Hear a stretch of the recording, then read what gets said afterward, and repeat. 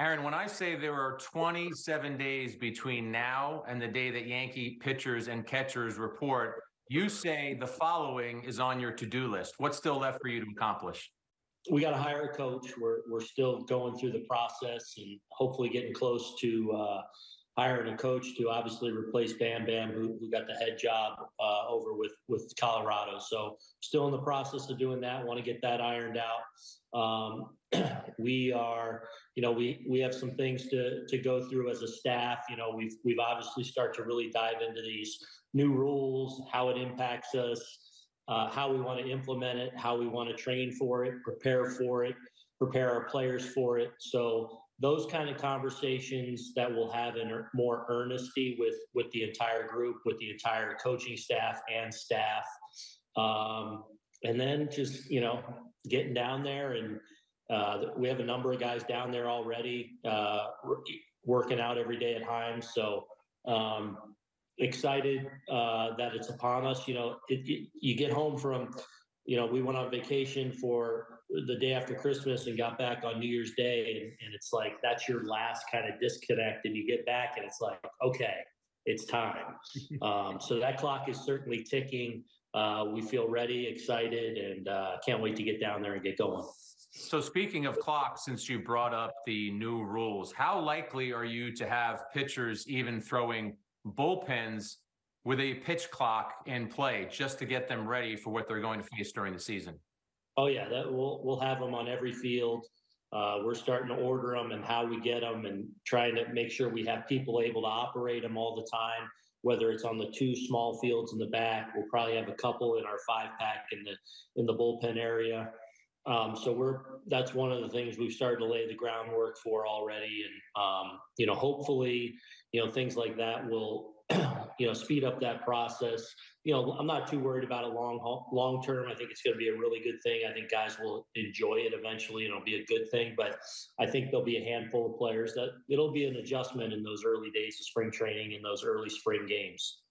When we talk about pitching, you've been quoted this offseason as saying you think that the Yankees currently have the best starting rotation possibly that you've ever had as a manager, but you'll be missing one piece of that to start the season in Frankie Montas. How concerned are you, Aaron, about the lingering shoulder inflammation that he's dealing with? Well, I think an important note on that is uh, on the the best pitching staff we've had. I certainly think that's potentially the case in what we're p- capable of when whole. Um, you know, but I also caution that it's January and that's on paper, and we got to go out and, and prove it and show people that, and we look forward to that. We know we have a lot of talented people in our in our rotation. With Frankie, um, you know, he, he's going to be a little bit behind. Um, hopefully, it's something that you know we're working through right now. And the biggest thing though with Frankie is getting him right and well. And we feel like obviously when we have that, we feel like we got another frontline pitcher. So, but but it's probably going to be a little behind. I know it's only January and he has to do all the things that you just referenced, but what type of target date do you have for him to be able to pitch a major league game? No target, but but you know, hopefully if everything goes well where he starts throwing in the next few days, you know, we're in January. So that's a pretty long on ramp um, you know, to put him into position. You know, again, we're going to play it conservatively with it because, you know, he has kind of had this lingering nuisance thing going on over the last, you know, half a year. Um, so we want to be smart with it, be conservative with it, make sure he's in a really good spot that when he does join the rotation, he's flying. But I, I wouldn't want to put a date on that, um, you know, until he starts throwing, and you know, and then you graduate and get to the point where you're long toss into into your bullpens, and and hopefully that's a that that goes well here over the next few weeks. Aaron, you're the manager of the New York Yankees, but you're also a devoted fan of the Philadelphia Eagles, who happen to play the Giants this weekend in the playoffs. Yeah. I'm not going to ask you right out of the chute who's going to win. I need to ask this from a New York angle because most of our viewers are going to favor the Giants.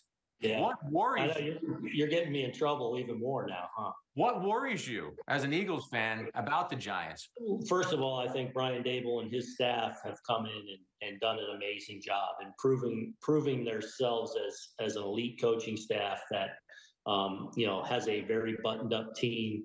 Um, we've seen obviously Daniel Jones go to another level. One that I actually predicted when people were writing him off the last couple of years. Um, you know, they just do a lot of things really well. Um, they're you, you feel like they're probably not going to beat themselves.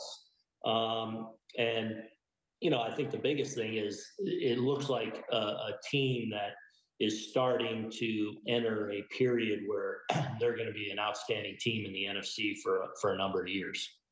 All right, we need a prediction. You've got to give us a prediction on the game.